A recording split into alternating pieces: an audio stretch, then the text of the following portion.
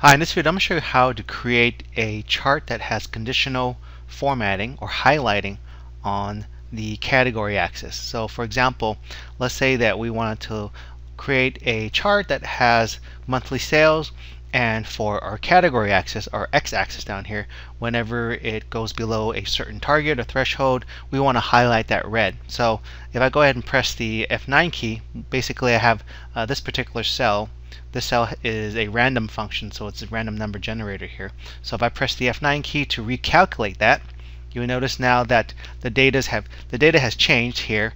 Uh, and for the month of February, it's below target. Now the target uh, I had arbitrarily set this at uh, 60, so it's below 60. If it's below 60, we get a red. If it's 60 or above, then it, everything is green. So if I press the F9 key again, you notice if I cycle it through a couple times, it changes the target quantities here, or changes the quantity here, and then the calculations here will figure if it's below target or above at target or above target. So you notice here January and April now are below target. So let me show you how we can create this type of chart. I'm gonna go ahead and just copy. Uh, actually, I'll just copy this Control C to copy and put it onto another sheet here. I've already got the headers here. Oh, I've already got this here. So let me go ahead and go with the quantity then. So with quantity, I'm just going to create a random number. And to create random numbers, you use the rand between function. Uh, actually, there's two functions here. This rand function creates a random number between 0 and 1. This rand between function creates a number between your choosing. So I'm going to choose between 50 and 150. All right and I'll go ahead and press control enter to stay in that cell and go ahead and double click the fill handle down here to copy that function or that formula down. Double click it and it copies it down. So if I press the F9 key a couple of times you'll notice now the number changes.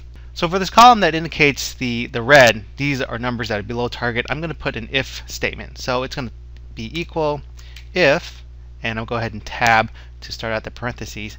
I'll say if this number is below uh, a threshold, let's say that we say if it's below, now we had from 50 to 150, so let's say if, it, if it's below uh, 85.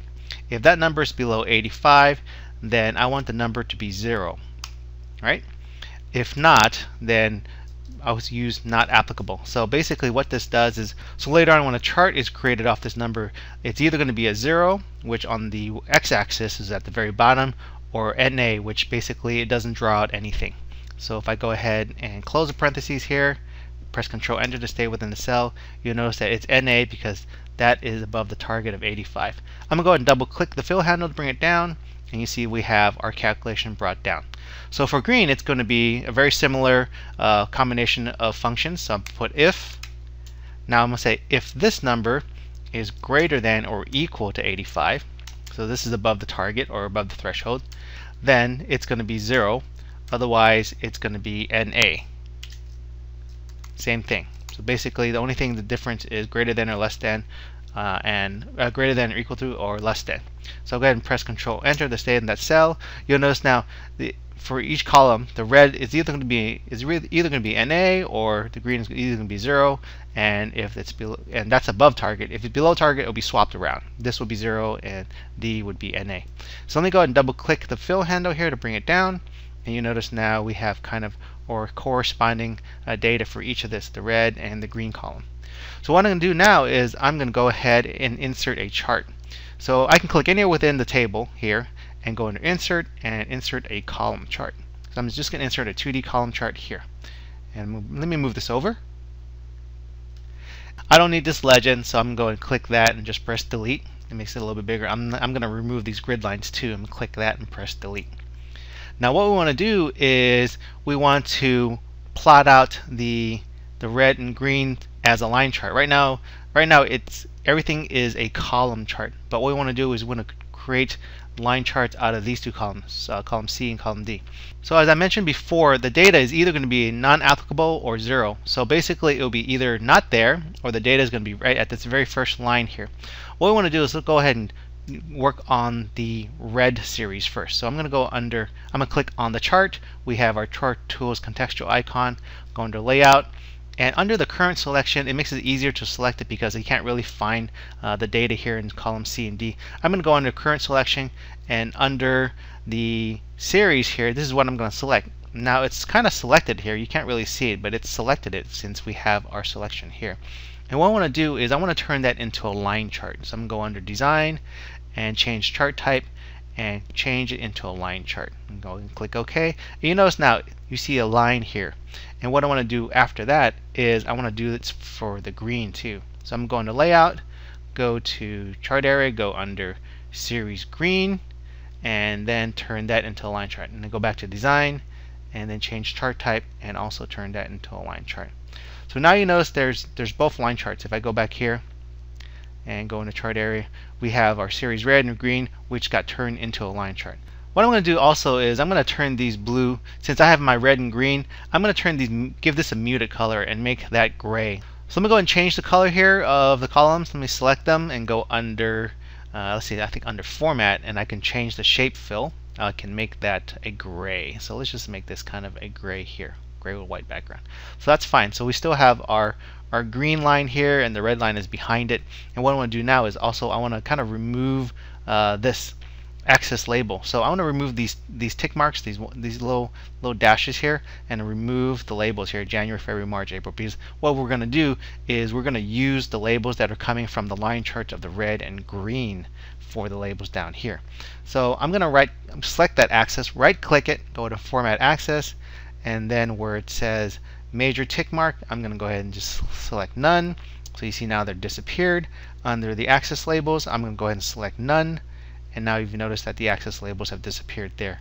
So after that, I'm going to click close and select my chart and go back in the chart and go to layout and select, let's go ahead and select the red first. So we're going to select the red here and now it's selected. We see it's selected for February, March. You can see that we have zeros here for February, March, uh, May, and June. May and June right here. So there are about six of them. So what I need to do now is I want to go under the data labels and I'm going to put the data labels below. So I've put those below there. And you see now the data labels are below, they're all zeros, and they correspond with the zeros here. Now what I want to do is I want to change those data labels. So I'll go to data labels and click more data label options. So we have the values checked here. These are basically there. What I want is I want the category name. So if I click on the category name, you'll notice that it show up now. The months show up now. And I want to go ahead and unselect value so that doesn't show up anymore. So after I click close, you see that they show up here. Uh, one more thing I probably want to do is I want to change uh, the label format here. So I want to change that to red. So I can go under home, go under the the font group here and change that to red and might as well just bold it a little bit so I have red. So there goes my labels for that. Now I can do the same thing for the green one.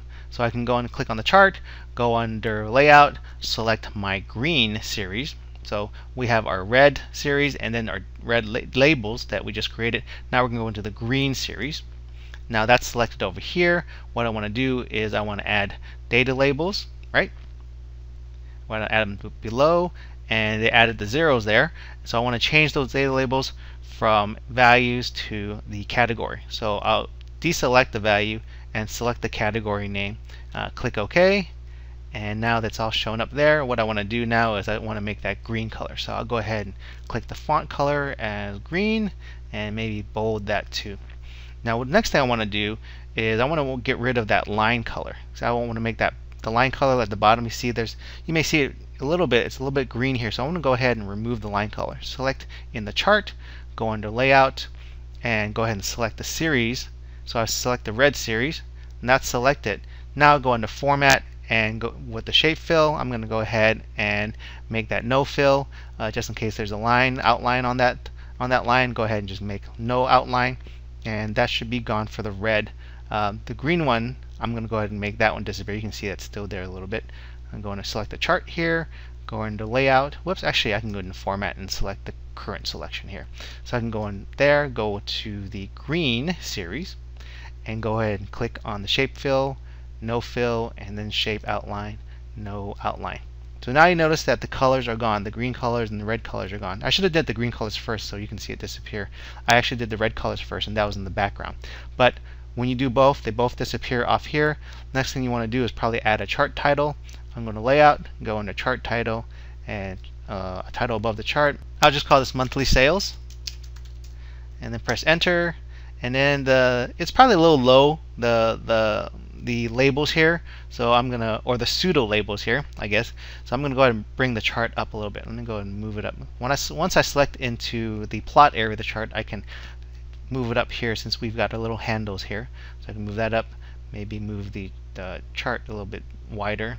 Move this up a little bit again you can see now we've got our chart with the conditional formatting or the conditional highlighting that's probably a better word the conditional highlighting on the axis labels so if I go ahead and press the F9 key it will recalculate the values in this function here so if I press F9 you'll see now that it changes and the conditional highlighting would change for each of the columns that are uh, below below and above target. And so our target again was uh, 85. So you might want to mention maybe probably the target of 85 here. Uh, maybe, maybe, maybe I'll do it in lowercase. Uh, target equals 85. So maybe I'll make that a little bit smaller. Uh, maybe make that a little bit smaller in size. So at least you know our target is 85. Anything that's below target is here in March and April. So if I press the F9 key again, you'll notice now that my targets, the ones that are below target, will show up in red, like in this example here. These four months, February, May, October, and November, and the rest of them are in green, above target, at or above target.